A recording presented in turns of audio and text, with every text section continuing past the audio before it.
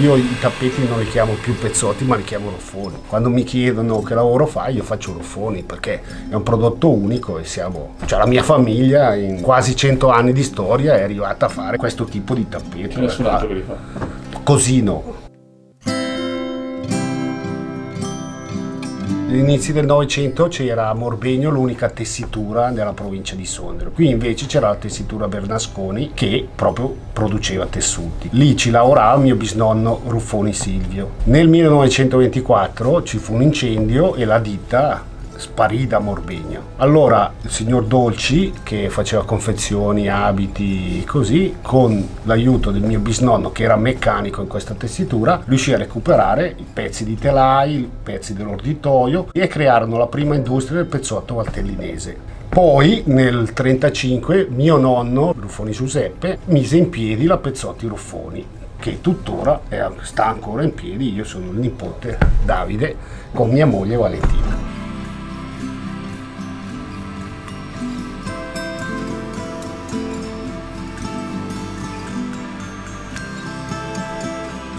In questo laboratorio si trova tutti i brevetti ruffoni.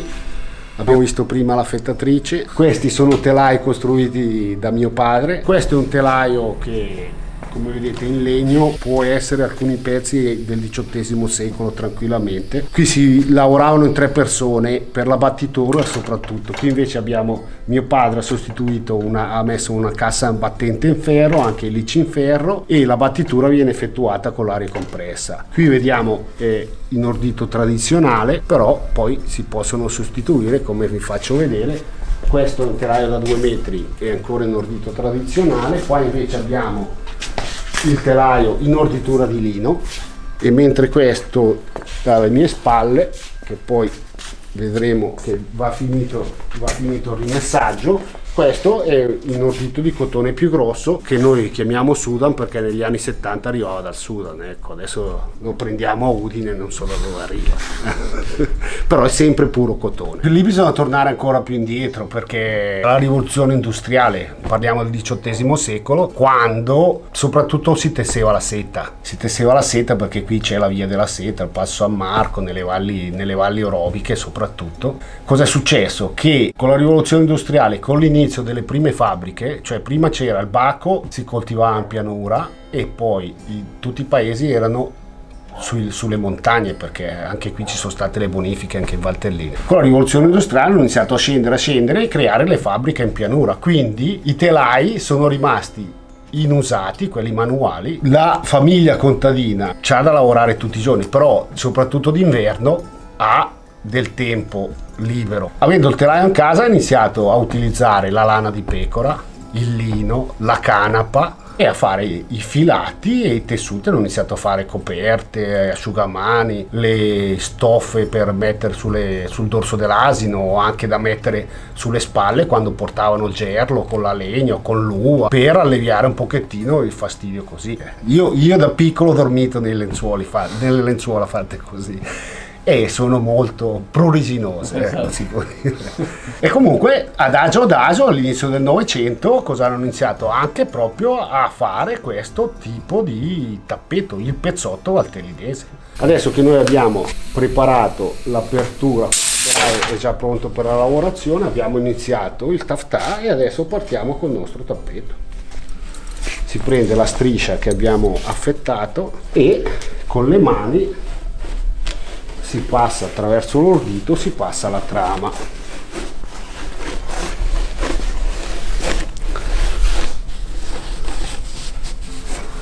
Questo è proprio l'inizio e questa la battitura.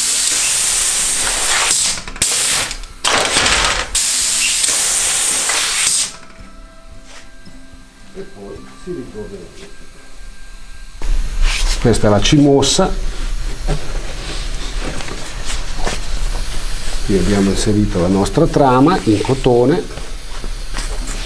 E questo qua come vedete suddiviso perché lavorando su ordinazione si lavora sulla misura che richiede il cliente.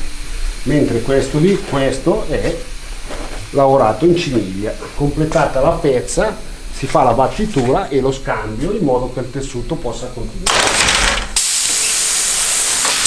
Una volta al posto di questa manopola d'aria compressa c'erano i pedali che poi si potranno vedere sul telaio piccolo in legno. Se penso a quando ero piccolo io c'erano, adesso il lavoratore è stato un po' cambiato, però c'erano due persone fisse che facevano questo lavoro tutto il giorno. Mio nonno aveva una decina di dipendenti, anche i miei genitori fino, fino all'85 più o meno. Lavoriamo ancora come una volta, fibre naturali, i nostri tappeti sono tutti pezzi unici. Mio papà, Ruffoni Silvi, mia mamma, Pontigia Stefania, hanno sempre cercato di migliorare la qualità. Hanno introdotto la lavorazione della ciniglia, la lavorazione del velluto, la lavorazione del lino e tuttora io e mia moglie siamo riusciti più o meno, facciamo 30-35 tipi di tessuti diversi. Qui invece abbiamo l'orditoio che è appunto come l'ha recuperato mio bisnonno, questo è un orditoio del XVIII secolo, funzionava ad acqua e qui noi prepariamo il subbio col filato di cotone, prepari l'ordito per ogni tipo di telaio.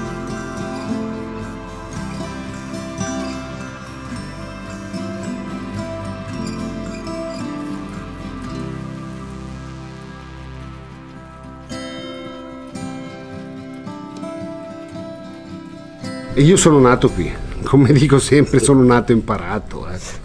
Cioè, il lavoro di mio nonno, il laboratorio qua l'ha costruito nel 54, io sono del 68, eravamo io, mio fratello e mia sorella. Quindi i miei genitori lavoravano qua, alle volte si stava qui anche a fare i compiti. Eh. Poi c'erano le mie, le mie prozie che lavoravano qua, c'erano alcune operaie, si facevano i compiti, si stava qua, ogni tanto si dava una mano, c'era la nonna, gli si dava una mano a, a scegliere i colori. Ecco. Quando dall'orditoio si mette il cotone, l'ordito, cioè il, tutto il cotone che abbiamo sull'orditoio viene trasferito sul subbio, poi il subbio dall'orditoio viene portato qua sul telaio e a questo punto le due nastoline che dividevano i fili dispari e i fili pari vengono sostituite con queste due stecche di ferro o di legno, dipende che tipo di telaio è, e poi adesso sempre uno, il filo dispari viene inserito nel, nel liccio che è questo, queste sono le maglie, nel liccio posteriore e il filo pari nel liccio anteriore. In modo che così abbiamo sempre la nostra divisione dispari e pari che ci permette di tessere poi il nostro tappeto. Adesso cosa dobbiamo fare? Abbiamo inserito il nostro cotone, il nostro ordito nei licci e nel pettine. Questa è la cassa battente, questo qui è il pettine. E dobbiamo attaccare l'ordito, cioè la preparazione della pezza, attaccare l'ordito al subbio anteriore dove poi qui verrà avvolto il nostro ordito di cotone con l'inserimento della trama verrà avvolto il nostro tessuto lì io prendo l'ordito eh, e lo annodo al subbio anteriore. Può succedere che quando li avvolgi non ti sei accorto, hai sbagliato, hai lasciato magari un, una trama quando si fa la sovrapposizione, la giunta, magari è lasciata troppo lunga, ti prende dentro un filo, ti strappa un pezzo di tappeto e te ne accorgi magari quando poi l'hai tolto. E lì ritorno indietro? Eh, no, è lì ormai è andata. ormai è andata. Ci sono dei tappeti che delle volte non hai voglia neanche di venderli. Eh. Ti vengono vanno talmente bene che... Cioè dici questo no, questo è mio, basta. sì, questo lo tengo io, però eh, bisogna mangiare, i tappeti sono in fibre naturali ma non sono buoni da mangiare. Ecco. Questo è quando il tappeto poi è tolto dal telaio. Si lasciano un po' di, un po di ordito e si parte con la franzatura.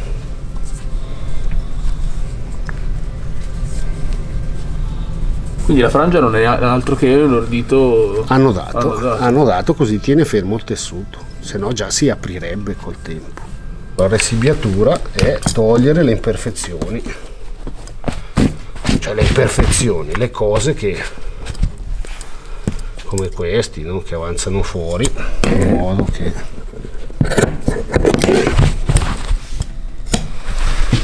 tutti questi filitti, filetti, filettini. Sono, i nodi, sì, il nodo, sì. quando si cambia il colore, questo è il nodo ruffone. Sto facendo un arazzo, è la riproduzione dell'Homo selvatico che è un dipinto che si trova a Sacco nella casa Picca del 1400 e qui l'ho fatto un pochettino tridimensionale utilizzando questo cotone rimane questo il corpo dell'uomo selvatico molto peloso. Qui c'è la clava la mano. Qui faccio vedere il nodo ruffoni. Questo è un telaio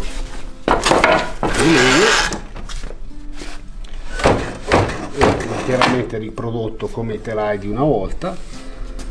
E qui c'è il nodo quando c'è il cambio di colore. Ecco qua. qui tolgo il pelucco in modo che rimanga proprio esterno se no anche le due, le due stoffe sono di diversa. Qui si contano i fili per creare poi il disegno della clava e anche qui si contano i fili per creare la curvatura del braccio. Ok battitura. E ritorniamo. E siamo ai tappeti finiti abbiamo questi tappeti come questo un misto marrone tranquillo lavorato in velluto sul velluto c'è il diritto e il rovescio il rovescio la parte opaca e invece il diritto la parte lucida. Qui abbiamo il tappeto in lana con un disegno tramonto con i gabbiani in volo e, e, e il sole che sta calando sul mare qui abbiamo un bellissimo tappeto in jeans. Per lavorarlo sono dovuto andare in Sicilia a raccogliere la pietra pomice per lavarlo in lavatrice e ammorbidirlo. E queste sarebbero le onde del mare con le boe qua ci sono tante boe tanti pedalò però un disegno sempre anche questo è anni 80 questo disegno Baroni famoso architetto ecco visto che collaborazione con gli architetti, artisti così. E abbiamo collaborato con nomi famosi, ecco, cioè nomi famosi, architetti famosi, Aulenti, Sozzas, eh, Baroni, Farina, Crosta.